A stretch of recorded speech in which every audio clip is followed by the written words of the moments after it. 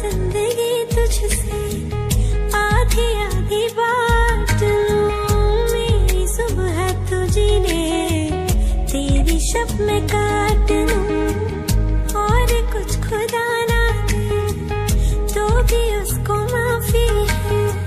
प्यार तेरा मिल गया, सिर्फ़ इतना काफ़ी है। चाहे जहाँ से चलूँ